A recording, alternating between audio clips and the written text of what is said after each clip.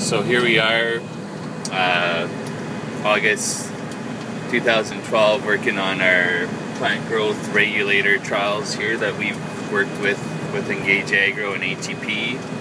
So what we did here is we set up a different bunch of different rates of fertilizer and nitrogen across the field.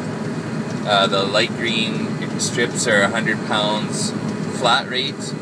The dark green are, are variable rate application and the red is 130 pounds and the blue is 160 pounds of nitrogen. We replicated that a couple times. And then this yellow area here is where we sprayed the plant growth regulator um, at growth stage 31. So if you look out that direction there, you can see the edge of the trial running the same distance, same length of the combine where there's a bit more lodging there.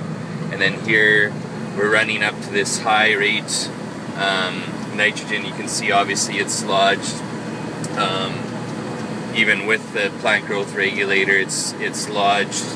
Um, and we're starting to see a bit of a trend show up on our yield map here that actually this high rate N is actually lower yield. Here's the scale here, um, lower yielding than um, some of the other strips, or especially um, the the variable rate strips. So what we've seen with the variable rate applications is just a much more consistent, even crop, less disease pressure.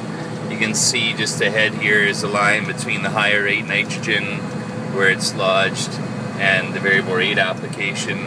The variable rate application is much more consistent and uh, even with less lodging. And when we scouted these fields earlier in the year, we saw that there was um, much better um, disease control in these areas where the high nitrogen, where the N to K ratio was out of balance.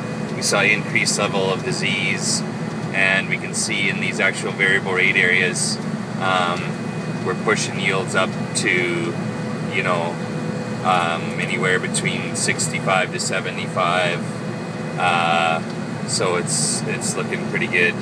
Um, so yeah, it's uh, we definitely can see the difference that the, the plant growth regulator regulators made as far as standability, and I believe we're seeing a yield increase there. Um, but we're uh, definitely seeing the most um, response in uh, in the, the variable rate application.